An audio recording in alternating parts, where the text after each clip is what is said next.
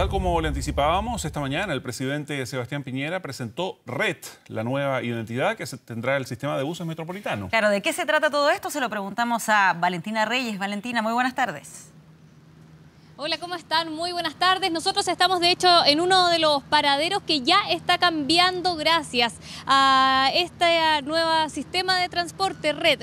¿Qué colores están usando ahora? El rojo. Se acaba el verde del Transantiago, así como también ese nombre. Y lo que anunciaron las autoridades es que el cambio, eso sí, va a ser de manera gradual. ¿Recuerdan lo que pasó en el año 2007, febrero del 2007, cuando de un día para otro cambió el sistema de transporte público y se generó bastante caos? Bueno, eso no pasaría ahora, según explicaron tanto el presidente Piñera como también la ministra de Transporte. Vamos a revisar un poco de las imágenes donde el presidente y la ministra presentaron este nuevo sistema que no solo involucra a Santiago, ¿ah? también a regiones, no solo involucra a la región metropolitana. El presidente tomó su bus en el Palacio de la Moneda y se dirigió al punto donde estamos nosotros acá en Plaza Baquedano. Con la ministra bromeó por su vestido, un vestido blanco con un adorno rojo que tiene que ver justamente con estos nuevos colores de los que yo les hablo. Pero no es solo algo estético, también se prometen nuevas licitaciones, empresas más pequeñas que permitan cambiarlas si es que tienen un problema, nuevas tecnologías para el pago de la tarjeta VIP. El presidente aseguró que va a traer la tarjeta VIP hacia el siglo XXI. Y como ya les explicábamos, también cambios en regiones. Por ejemplo, que los buses eléctricos lleguen a regiones y mayor tecnología, mayor integración. Ya se están comprando trenes para el biotren de Concepción. Vamos a escuchar lo que dijo el presidente Sebastián Piñera, quien prometió varias cosas. ¿ah? Prometió mayor comodidad, menos tiempos de viaje, más cuidado al medio ambiente, todo eso en este nuevo sistema de transporte. Vamos a revisar.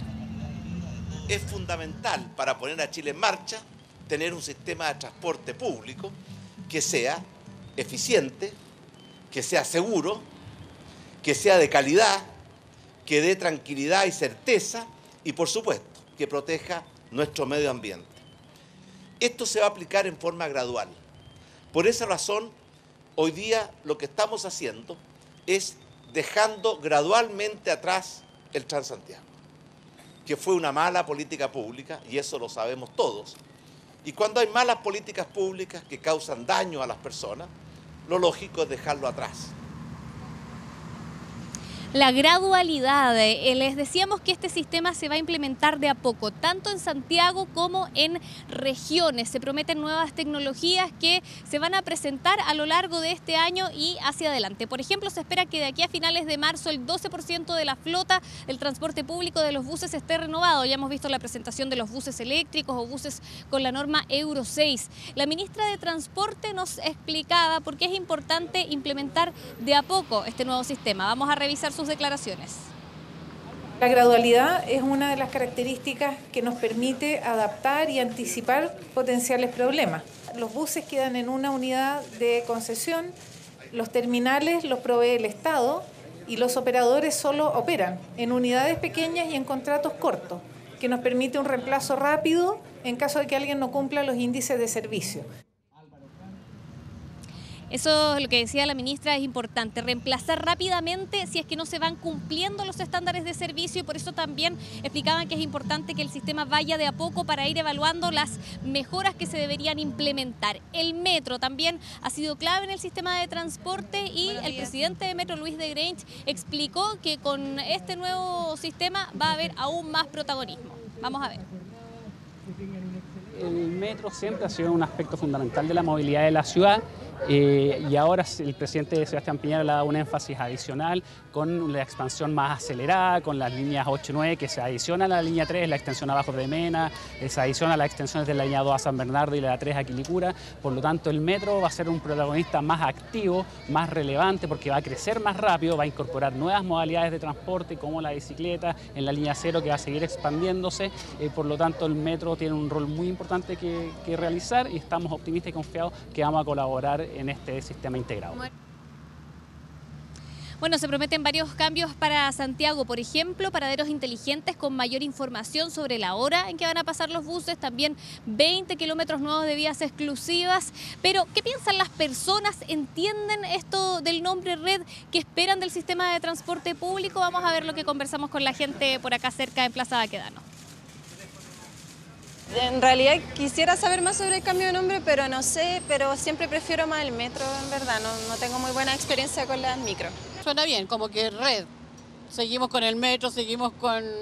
Estamos en red, por decirlo de alguna manera. Lo que pasa es que viene mucha gente de afuera, de provincia, las mismas gente que vienen de afuera se van a enredar mucho. Para los que vivimos acá en Santiago, acá, solo es más fácil, pero la gente que viene de afuera va a perder tiempo, está preguntando la información. O sea, que están tan malo lo que es el transporte y ahora cambiando nombre es como un juguete. Entonces, no sé, la verdad es que me gustaría saber lo que piensa la gente que es creativa en esto.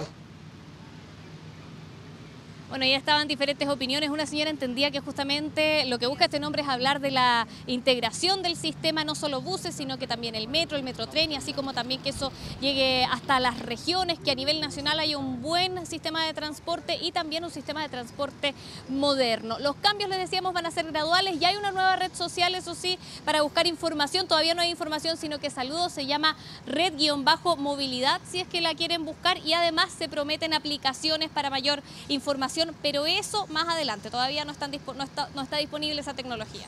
Sí, Valentina, me queda solo una duda. Escuchábamos ahí a la ministra que decía que eh, las empresas solamente se van a dedicar a la operación de los buses. No sé si ella se refirió a quién se va a hacer cargo entonces de financiar estos nuevos buses y también de hacerse cargo en caso de que sufran algún tipo de daño, que sufran algún tipo de falla.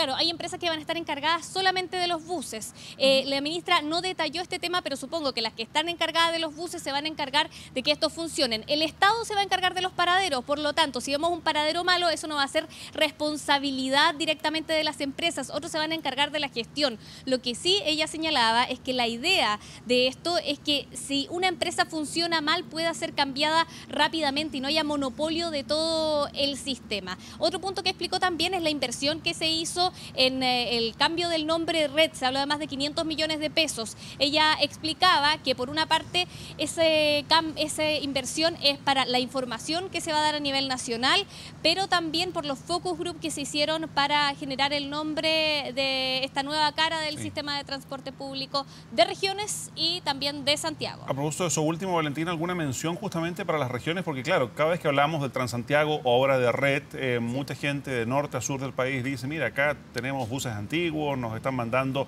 aquellos Sí. buses que en Santiago desechan. ¿Qué pasa con todo aquello? Sí, justamente el presidente se hizo cargo de las regiones, eh, dijo que se van a incorporar buses eléctricos. Ahora, sobre la fecha, ¿cuándo va a empezar esto? No hay claridad. Se habló, se habló mucho de la gradualidad, pero no sabemos cuándo empiecen a verse los buses eléctricos en las regiones. Sí se prometió eso porque justamente lo que vemos en la actualidad es que los buses antiguos de Santiago llegan a regiones, lo que no le da al país una imagen de modernidad. Se habló también de compra de trenes para el biotren de Concepción, como algunas de las medidas que se van a incorporar para las regiones. Muy bien, Valentina, muchas gracias por esta información. Buenas tardes. Buenas tardes. Buenas tardes.